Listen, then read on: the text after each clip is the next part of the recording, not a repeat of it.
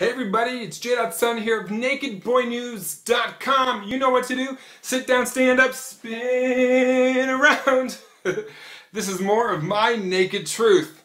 You know what? Everybody's going, oh my god, the end of the world, the end of the world, because the Mayan calendar. Okay, doesn't every calendar come to an end on December 31st?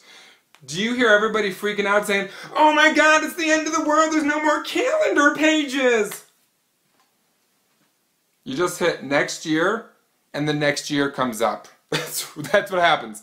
So, all those people out there that are buying all their supply kits because the world is coming to an end in December, wake up.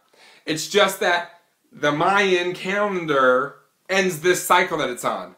But hello, Learn your goddamn history! The calendar is going to start over again, just like January 1st in the modern day calendar. So, trust me, we're going to be celebrating New Year's. Woo! This year. So stop buying your goddamn emergency kits, you nut jobs.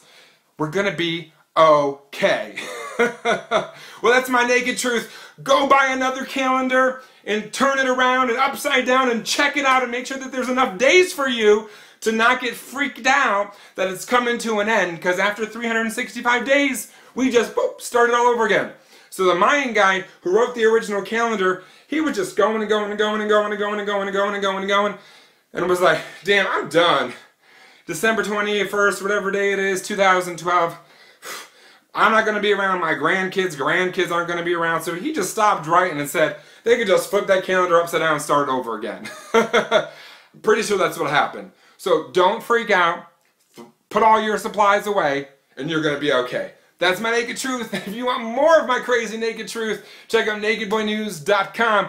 Because I'm crazy, I'm fun. I'm J.Son. Until next time, bye guys.